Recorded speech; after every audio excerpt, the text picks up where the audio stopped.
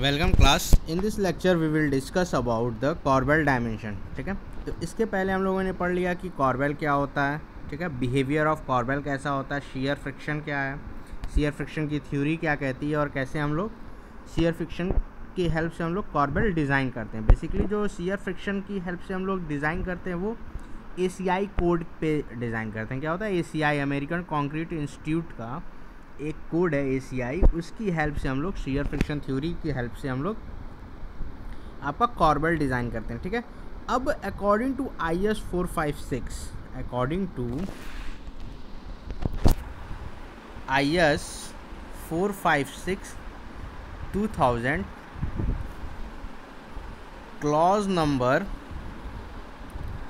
twenty eight clause number twenty eight I S four five six two thousand में आपका basically corbel के बारे में बताया गया, ठीक है? कॉर्बेल क्या होता है? कॉर्बेल की डायमेंशनिंग कैसे होती है? कॉर्बेल की हम डिज़ाइनिंग क्या, कैसे करते हैं? क्या क्या एग्जम्पन्स हैं? हम लीवर आर्म कैसे कैलकुलेट करेंगे? तो मतलब कॉर्बेल से रिलेटेड सारी चीज़ें दी हुई हैं, ठीक है? क्लॉज नंबर ट्वेंटी एट में आपको सारी चीज़ें मिल जाएँगी, ठीक है? Clause number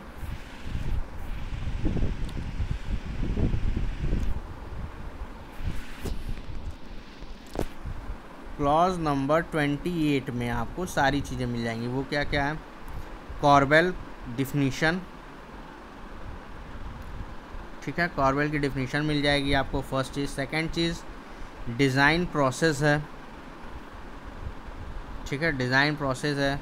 रिनफोर्समेंट डिटेल्स है। ठीक है रिनफोर्समेंट डिटेल्स है कि कैसे हम डिटेल्स प्रोवाइड करेंगे। ठीक है तो ये सब चीज़ें हम लोग को clause number twenty eight I S four five six two thousand में अवेलेबल है, ठीक है? तो अब हम लोग पढ़ते हैं कि कॉर्बल की डायमेंशंस क्या क्या होती हैं, ठीक है? तो the initial dimensioning of the corbel is carried out from the following principles ठीक है? तो कुछ प्रिंसिपल्स दी गई हैं, उनकी हेल्प से हम लोग क्या करते हैं? कॉर्बेल की डायमेंशनिंग करते हैं। The first point is the ultimate bearing pressure on concrete should not exceeded the following. The ultimate bearing pressure on the concrete should not be exceeded. The following are the values generally recommended. मतलब जो ultimate bearing pressure है concrete पे, जो corbel पे लग रहा है, वो फॉलोइंग वैल्यूज़ से ज़्यादा नहीं होनी चाहिए। The first value is bearing with no padding material is equal to point four F C K मतलब बियरिंग जो है, जो आपका मेट कंक्रीट है, उस पर कोई बैडिंग पैडिंग मटेरियल ना हो, ठीक है? Padding material in the sense कोई भी कंक्रीट के ऊपर कोई भी मेंबर या अदर चीज़ें जो इससे हम जैसे पेंट या अदर फिनिशिंग प्रोडक्ट्स जो यूज़ करते हैं, वो आपका उसमें ना हो, ठीक है? उस केस में आपका हमारा क्या होगा कि जो बियरिंग प्रेशर होगा, वो आपका पॉइंट फोर एफ़ सी के होगा, ठीक है? एफ़ सी के क्या है आपका? Characteristic strength characteristic strength of concrete of concrete F C K क्या characteristic strength of concrete okay the second is bearing in cement mortar is equal to point six F C K मतलब bearing pressure आपका cement mortar के case में कितना है? Point six F C K bearing on steel plate cast into member okay तो is equal to point eight F C K for B I S and point nine F C K for I S ठीक है? तो third का मतलब क्या है कि जैसे ये आपका कॉर्बेल है, इस पर्टिकुलर सरफेस पे एक हम लोग स्टील की प्लेट कास्ट करते हैं। ये क्या आपका? स्टील प्लेट है। क्या है? स्टील प्लेट ये अगर हम लोग कास्ट कर देते हैं तो इस केस में सिग्मा बी आर की वैल्यू पॉइंट एट और point nine F C K होगी, ठीक है? पॉइंट एट और point nine F C K basically हम लोग ये point eight F C K use करेंगे अपने डिज़ाइन में, ठीक है? हम लोग अपने डिज़ाइन में जब बियरिंग प्रेशर निकालेंगे तो sigma B R is equal to या bearing pressure is equal to point eight F C K use करेंगे, ठीक है? तो ये हमारा बेसिकली यूज़ होता है okay the next point is the width of the member should be determined from the size of bearing required from the size of bearing required if the plate is use the size of bearing plate is to be calculated by assuming that the bearing stress should not be greater than 0.8 F इस पूरे point का मतलब ये है कि आप sigma B are निकालेंगे 0.8 F C के ठीक है 0.8 एफ़ सी के से ग्रेटर नहीं होना तो हम मैक्सिमम डिज़ाइन में हमेशा हम क्या करते हैं अल्टीमेट वैल्यू ले चलते हैं। तो पॉइंट एट एफ़ सी के हम लोग बियरिंग प्रेशर निकाल लिए उसके बाद एरिया निकालेंगे। एरिया क्या होगा? Load upon sigma B R ठीक है? ये जो है फोर्स है, जो कॉर्बेल पे एक्ट कर रहा है। क्या कर रहा है? कॉर्बेल एक्शन कर रहा है, ठीक है? एक्टिंग ऑन कॉर्बेल ठीक है? ये निकल गया। उसके बाद हम लोग क्या करेंगे? पहले हम लोग बियरिंग प्रेशर निकालें। फिर एरिया निकाल लिया, ठीक है? इसके बाद हम लोग क्या करेंगे कि, इसके बाद हम लोग क्या करेंगे? कॉलम फेस जो कॉलम फेस होगा कॉलम फेस होगा, उसकी हेल्प से लेंथ ऑफ़ कॉर्बेल निकालेंगे। क्या निकालेंगे? लेंथ ऑफ़ कॉर्बेल निकालेंगे। कॉलम फेस की हेल्प से हम लोग लेंथ ऑफ़ कॉर्बल निकालेंगे। उसके बाद विड्थ निकालने के लिए बी निकालने के लिए हम लोग एरिया अपॉन लेंथ कर देंगे। ठीक है? हम लोग क्या करेंगे? सबसे पहले सिग्मा बियरिंग प्रेशर निकालेंगे। बियरिंग प्रेशर निकालने के बाद एरिया निकालेंगे। तो एरिया कैसे निकलेगा? पहले बियरिंग प्रेशर आपका निकलेगा पॉइंट एट एफ़ सी के से। पॉइंट एट एफ़ सी के हम निकाल दिए तो बियरिंग प्रेशर निकल गया। नेक्स्ट आपका आता है कि हम लोग कॉलम एरिया निकालेंगे। तो एरिया कैसे निकालेंगे? Area required is equal to load upon, ultimate load upon bearing pressure. ठीक है, वहाँ से एरिया निकल गया। उसके बाद लेंथ निकालेंगे। तो कॉलम फेस जो डायमेंशन दिया होगा, उसको हम लोग क्या करेंगे कि लेंथ ऑफ़ कॉर्बेल के इक्वेलेंट मान लेंगे। उसके बाद विथ निकालने के लिए एरिया अपॉन एल कर देंगे। तो यहाँ से हमारा बियरिंग निकल जाएगा, ठीक है? विथ ऑफ़ मेंबर निकल जाएगा। तो width of member should be determined from the size of bearing required मतलब ये कहने का मतलब ये है कि जितनी बियरिंग रिक्वायर्ड है, वहाँ से हम लोग क्या करेंगे? विथ ऑफ़ कॉर्बेल निकालेंगे। If the plate is use अगर प्लेट यूज़ हो रही है the size of bearing plate is to be calculated by assuming that the bearing stress should not be greater than point eight F C K अगर कोई plate use हो रही है तो जो बियरिंग प्लेट की साइज़ होगी, उसको हम लोग कैसे निकालेंगे कि जो बियरिंग स्ट्रेस लग रहा है, वो पॉइंट एट एफ़ सी के से ज़्यादा नहीं लगेगा particular okay next point is the value of A by D the value of A by D what is a a is equal to shear span a is shear span d is effective depth what is effective depth ठीक है तो ratio of A by D should not be greater than point six ठीक है तो जो ए by D ratio है या shear span by effective depth ratio है, वो आपका पॉइंट सिक्स से ज़्यादा नहीं होना चाहिए। एंड इन एनी केस अगर कोई ऐसा केस जनरेट होता है कि वो पॉइंट सिक्स से ज़्यादा हो रहा है तो it should not be exceed one okay मतलब वन से ज़्यादा उस केस में फिर नहीं होना चाहिए। अगर किसी टर्म में आपका पॉइंट सिक्स से वैल्यू ज़्यादा हो रही है तो फिर उस केस में वो वैल्यू वन से ज़्यादा नहीं होनी चाहिए। ठीक है? तो the value of A by D should not be greater than point six and in any case it should not exceed one okay the depth at far end should be at least one half of the depth at support इसका मतलब ये है कि for example ये corbel है। ठीक? ये depth है आपका डी वन ये डेप्थ है डी टू ठीक है? ये क्या है? सपोर्ट पे है। ये है फॉर एंड ठीक है? तो इस पर्टिकुलर कहने का मतलब है कि D one and D two is equal to D one by two ठीक है? जो डी वन है, जो फार एंड का डेप्थ है, वो आपका सपोर्ट एंड के डेप्थ के हाफ़ होगा। ठीक है? इसका कहने का सिंपल ये मतलब है कि आपका फेस जो है कॉर्बेल के फेस का जो डेप्थ है, वो आपके सपोर्ट के डेप्थ का हाफ़ होगा, ठीक है? अब आता है एजम्पन्स कि क्या क्या एजम्पन्स हैं कि हम लोग कॉर्बेल के डिज़ाइन में देखेंगे। What are the assumptions which should consider in the designing of the corbel okay तो first assumption first point is a corbel is design for the limit state of collapse ठीक है?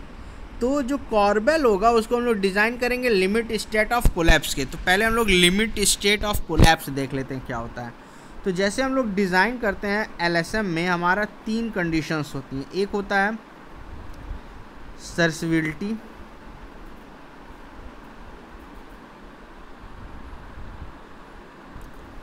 एक होता है हमारा कोलैप्स ठीक है तो सर्सविलिटी क्या होती है कि वो कंडीशन उस पर्टिकुलर बीम का या वो वैल्यूज़ हम लोग लोड की लेंगे जब उस समय हमारा जो पर्टिकुलर स्ट्रक्चर है वो सर्विस में रहे। मतलब अंडर प्रोसेस है मतलब उस पर वर्क लोड लग रहा है, उस पर काम चल रहा है और कोई भी क्रैक्स नहीं जनरेट हो रही है। तो मतलब सर्विसबिलिटी का मतलब ये होता है बिफोर क्रैक बिफोर क्रैकिंग, ठीक?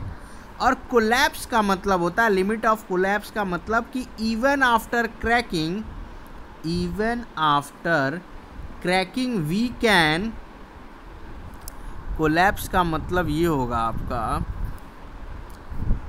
कोलैप्स का मतलब ये होगा एल एस एम कोलैप्स का मतलब ये हो गया कि even after cracking even after cracking, we can design और डिज़ाइन से अच्छा क्या होगा? एनालाइज एनालाइज द स्ट्रक्चर मतलब लिमिट ऑफ़ कोलैप्स का मत सिंपल सा ये मतलब है कि अगर उस पर्टिकुलर स्ट्रक्चर में, उस पर्टिकुलर स्ट्रक्चर में आपका कुछ क्रैक आ जाता है, ठीक है? तो उस क्रैक के आने के बाद भी हम लोग क्या कर सकते हैं पर्टिकुलर एनालाइज कर सकते हैं उस स्ट्रक्चर को, ठीक है? लेकिन सर्सिबिलिटी के केस में ये नहीं होता। सर्सिबिलिटी के केस में ये होता है कि आपका जो लोड होगा, वो आपका सर्विस जब तक होगा मतलब जब फ़र्स्ट क्रैक जनरेट होने होगा, उसके पहले तक की वैल्यूज़ हम लोग कंसीडर करेंगे, ठीक है? At the first crack value, उसके पहले तक हम लोग क्या करेंगे? वैल्यूज़ लेंगे मतलब उसके पहले तक हमारी क्या होती है? लिमिट स्टेट ऑफ़ सर्सबिलिटी होती है, और उसके बाद हम लोग का limit state of collapse start होता है, ठीक है? Now the second point is, the concrete and reinforcement in the corbel are design on the basis of truss analogy, that is simple strut and tie system.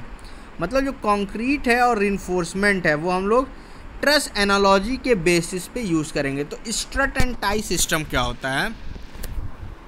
आपका strut and tie system strut and tie system ये basically क्या होता है कि इसमें हम लोग Lami's theorem की हेल्प से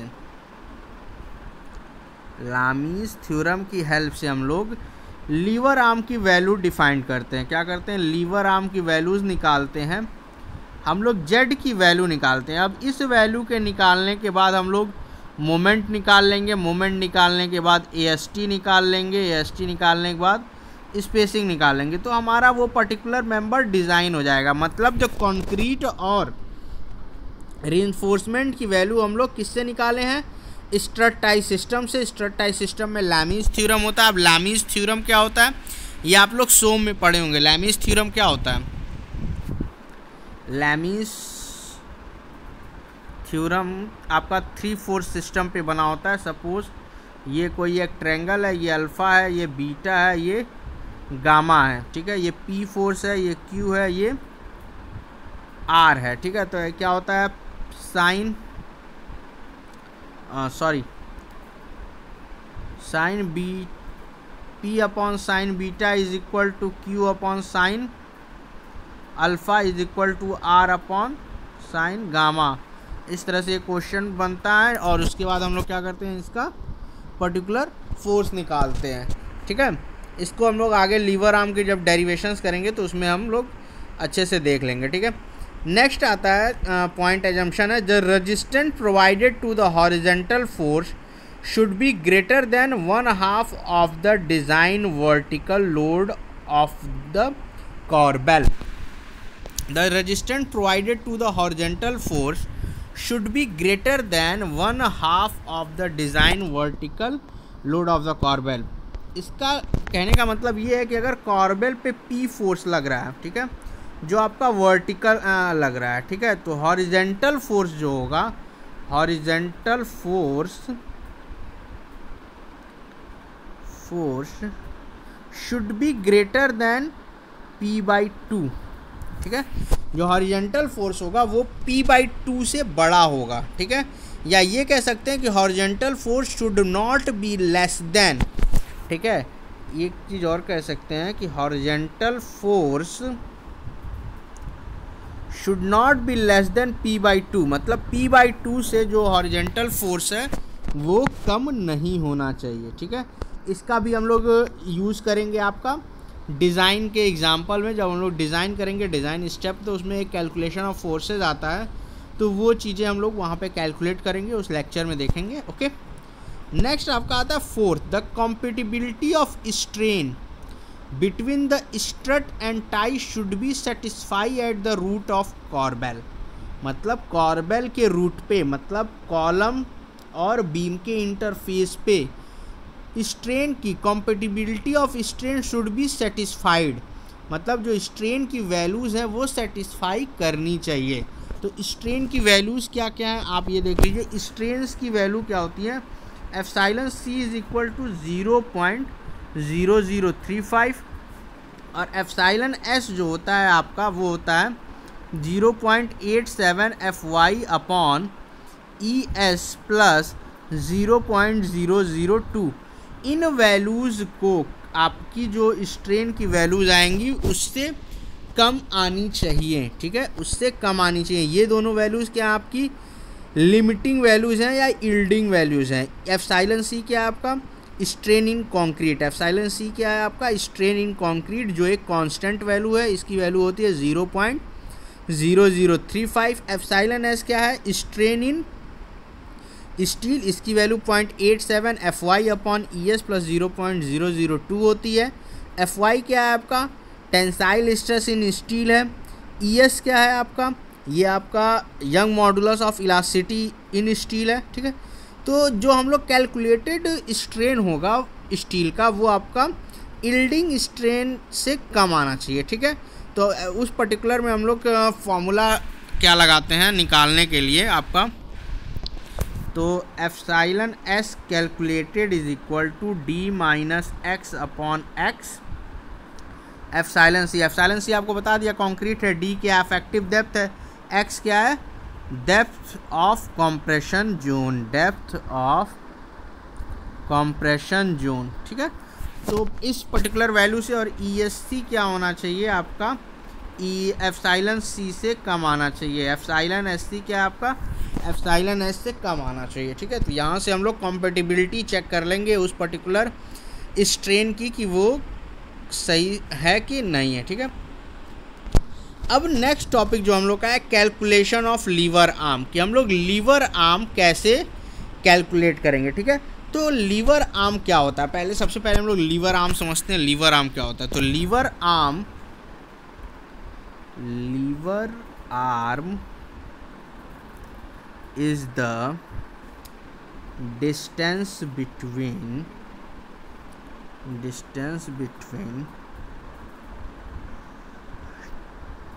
tensile force या stress and compressive stress in beam ठीक है?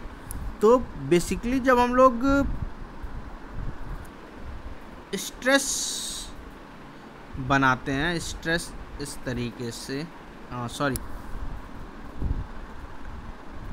जब हम लोग सिम सिंगली इन्फोर्स्ड बीम में सिंगली इन्फोर्स्ड बीम में स्ट्रेस डायग्राम बनाते हैं तो वो आपका इस तरह बनता है। ठीक है?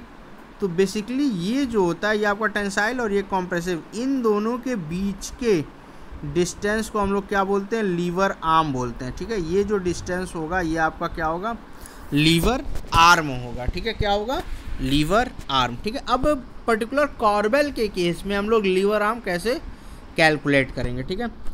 तो फिगर हम लोग समझते हैं कि फिगर ये है एक आपका कॉलम। ये आपका क्या है? एक कॉलम है,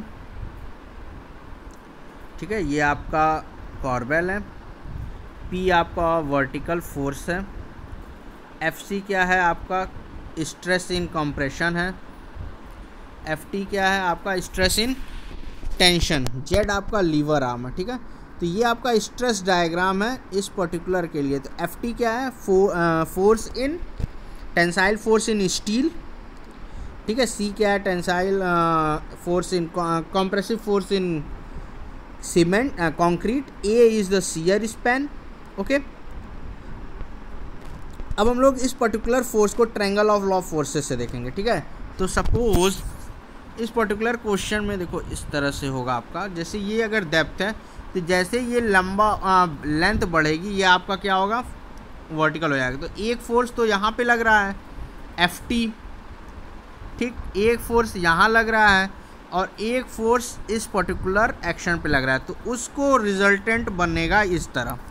ठीक है, उसका क्या बनेगा? एफ़ टी बनेगा ऊपर, नीचे से पी आ रहा है तो पी और एफ़ सी इस तरह से, ठीक? ये हो गया। अब उसके बाद एंगल हम लोग देख लेते हैं कि एंगल कैसे इसमें आएगा। तो ये थीटा है तो ये आपका क्या है? नाइन्टी डिग्री, ठीक? और ये आपका क्या हो जाएगा? इस एंगल के लिए सपोज़ वो फाइव है तो five is equal to one eighty degree minus ninety degree minus plus theta तो ये हो जाएगा नाइन्टी माइनस थीटा तो फाइव क्या हो जाएगा? अगर ये फाइव है तो नाइन्टी माइनस थीटा हो जाएगा, ठीक है? तो यहाँ से हम लोग क्या करेंगे कि strut and tie action follow होगा।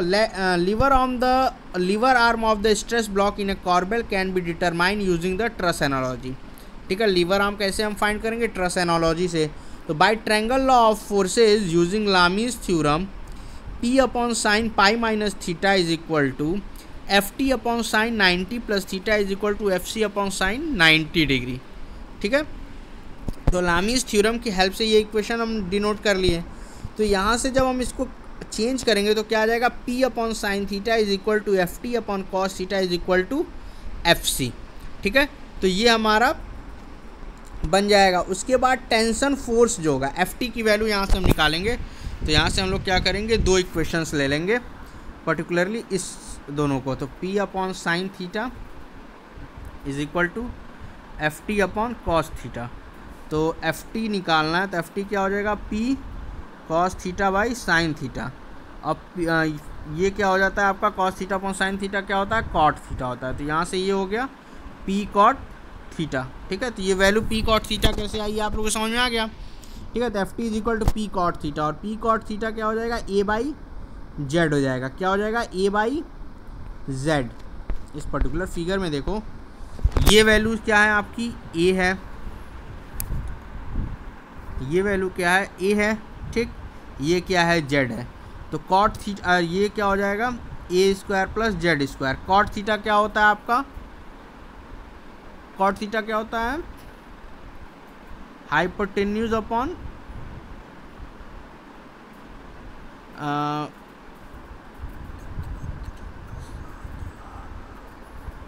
sorry cot theta आपका क्या हो जाएगा? बी बाई पी ठीक है?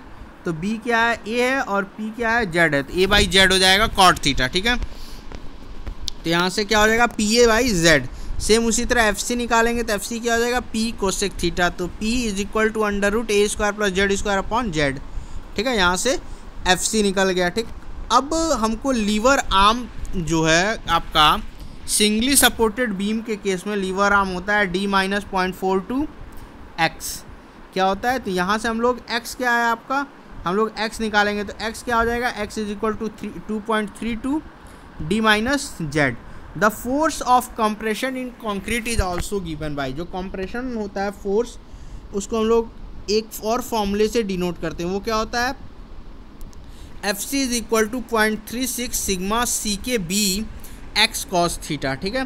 तो F C is equal to क्या हो जाएगा? Point three six sigma C K B, two point three eight X की वैल्यू यहाँ पुट करेंगे, D minus Z cos theta A by under root A square plus Z square. ये हमारा third equation हो गया और ऊपर सेकंड इक्वेशन है। दोनों को इक्वेट करेंगे तो आपका वैल्यू आएगी point eight six sigma C K B D one minus Z by D A by Z A by under root A square plus Z square is equal to under root A square plus Z square upon Z P ठीक है? तो यहाँ से values हम लोग simplify करेंगे और उसके बाद क्या करेंगे कि P upon point eight sigma C K B D को अल्फ़ा मान लेंगे और ए बाई डी को बीटा मान लेंगे। तो हमारा जो फोर्थ इक्वेशन है, वो आ जाएगा alpha A square plus D square plus Z square by D square is equal to one minus Z by D A by D plus Z by D ठीक है? यहाँ से आने के बाद हम लोग क्या करेंगे? इसको सॉल्व करेंगे। ठीक है? तो सॉल्व करने के बाद हमारी वैल्यू आ जाएगी Z square upon D square minus beta upon alpha plus beta Z by D plus alpha beta square upon alpha plus beta is equal to zero ठीक है? तो इस पर्टिकुलर इक्वेशन से हम लोग क्या करेंगे? आपका लीवर आर्म कैलकुलेट करेंगे। क्या करेंगे? लीवर आर्म कैलकुलेट करेंगे। ठीक है? For the given values alpha and beta the values of Z by D can be calculated from the equation five equation five की हेल्प से हम लोग क्या करेंगे कि आपका जेड बाई डी की वैल्यू फाइंड करेंगे। उसके बाद जेड बाई डी की वैल्यू सपोज़ समथिंग आ गई। Z by D four hundred के अप्रॉक्स आ गया। डी हमको पहले से पता रहेगा और जेड हम लोग निकाल लेंगे। जेड क्या हो जाएगा? फोर हंड्रेड इंटू डी हो जाएगा, ठीक है? तो इस तरीके से हम लोग लीवर आर्म कैलकुलेट करेंगे, ठीक है?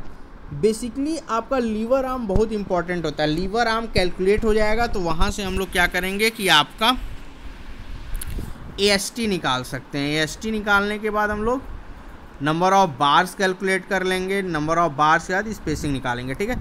इसके बाद नेक्स्ट लेक्चर में हम लोग, इसके बाद के लेक्चर में हम लोग क्या पढ़ेंगे? डिज़ाइन स्टेप्स पढ़ेंगे, ठीक है, क्या पढ़ेंगे? डिज़ाइन स्टेप्स एंड एक न्यूमेरिकल सॉल्व करेंगे, ठीक है? एक न्यूमेरिकल सॉल्व करेंगे, ठीक है? तो नेक्स्ट लेक्चर में हम लोग डिज़ाइन स्टेप्स पढ़ेंगे। डिज़ाइन स्टेप्स क्या क्या हैं, आपको दे देते हैं कि फ़र्स्ट स्टेप में आप लोग कॉर्बेल डायमेंशंस निकालेंगे। क्या निकालेंगे? Corbel dimensions. सेकेंड स्टेप में आप लोग लीवर आर्म कैलकुलेट करेंगे। थर्ड स्टेप में आप लोग फोर्स कैलकुलेट करेंगे फोर्स कैलकुलेशन ठीक है? उसके नेक्स्ट में ए कैलकुलेट करेंगे और चेक लगाएँगे। ठीक है? उसके बाद शीयर कैपेसिटी निकालेंगे। तो ये आपके कुछ स्टेप्स हैं जिसकी हेल्प से हम लोग कॉर्बल डिज़ाइन करते हैं। ठीक है? तो सबसे पहले हम लोग क्या करेंगे? कॉर्बल की डायमेंशन फिर लीवर आर्म फिर फोर्स कैलकुलेट करेंगे, फिर एएसटी निकालेंगे चेक लगाएँगे। मिनिमम मैक्सिमम चेक देखेंगे कि क्या मिनिमम क्राइटेरिया है एरिया ऑफ़ स्टील का, क्या मैक्सिमम क्राइटेरिया है एयर स्टील का, और उसके बाद हम लोग सीयर कैपेसिटी निकालेंगे। तो ये बेसिकली यहाँ, इस लेक्चर में हम लोग लीवर आर्म तक कैलकुलेट करते हैं, आप लोग यहाँ तक देख लीजिएगा। ओके नेक्स्ट लेक्चर में हम लोग फिर आपका डिज़ाइन स्टेप्स के बारे में बात करेंगे, ठीक है? डिज़ाइन स्टेप्स के बारे में बात करेंगे। तो पर्टिकुलरली यहाँ पे अल्फ़ा और बीटा की वैल्यू आप लोग कैलकुलेट कर लेंगे तो जेड बाई डी कैलकुलेट हो जाएगा। जेड बाई डी कैलकुलेट हो जाएगा तो आप, इसके बाद हमारा स्टेप आता है।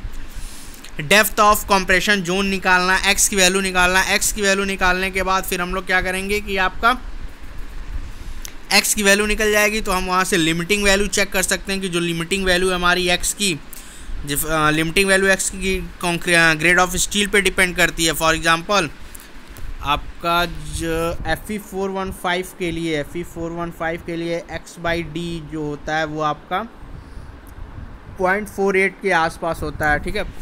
तो यहाँ से हम लोग एक्स बाई डी निकालेंगे और ये चेक करेंगे कि जो एक्स है, वो हमारी इससे वैल्यू से ज़्यादा आनी चाहिए, ठीक है? तो यहाँ से हम लोग लिमिटिंग वैल्यू चेक कर सकते हैं ओके तो इस पर्टिकुलर में हम लोग लीवर आर्म कैलकुलेट करके आगे की प्रोसीजर्स देखेंगे। नेक्स्ट लेक्चर में हम लोग, ठीक है? नेक्स्ट लेक्चर में हम लोग डिज़ाइन स्टेप्स पढ़ेंगे। डिज़ाइन स्टेप्स और, या procedure for designing of corbel और उसके बाद फिर हम लोग न्यूमेरिकल लगाएँगे, ठीक है? कॉर्बेल डिज़ाइन देखेंगे। Corbel design steps and solve one numerical on it one numerical on it ठीक है? हम लोग क्या करेंगे? कॉर्बल डिज़ाइन स्टेप देखेंगे और उस पर एक न्यूमेरिकल सॉल्व करेंगे नेक्स्ट लेक्चर में। Okay for this lecture it's okay now in the next lecture we will discuss about the design steps till now thank you for watching this and thanks the class